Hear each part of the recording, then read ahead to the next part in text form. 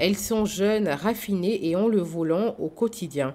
Les femmes conductrices professionnelles de l'entreprise de VTC en Côte d'Ivoire n'ont pas été oubliées à l'occasion de la célébration de la Journée internationale des femmes 2023. À cette occasion, Yongo Côte d'Ivoire a décidé de faire la surprise à Hélène et Eliane de Souza, ainsi qu'à une dizaine d'autres conductrices partenaires en leur offrant des roses et des cadeaux. Travailler sur prendre en charge, aider son prochain aussi, et à la famille, et aider son conjoint aussi. Donc, euh, tu vois que tu as un diplôme, tu ne trouves pas du boulot.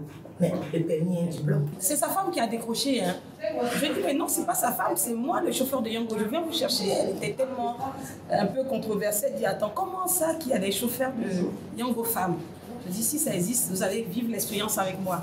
Donc c'est comme ça que je suis allée la chercher avec sa famille. C'était vraiment content et ravi de remettre l'expérience encore. C'est dans une atmosphère bon enfant que les femmes conductrices de la structure ont été célébrées entre anecdotes et échanges avec des artistes mobilisés pour l'occasion. Nous aimerions remercier toutes ces femmes courageuses, vaillantes qui se lèvent chaque jour pour travailler et contribuer à l'économie de leur pays et aussi contribuer euh, dans leur foyer. La cérémonie qui a eu lieu à la Riviera dans la commune de Cocody a pris fin avec l'invitation aux femmes qui souhaitent embrasser le métier de chauffeur à ne pas hésiter.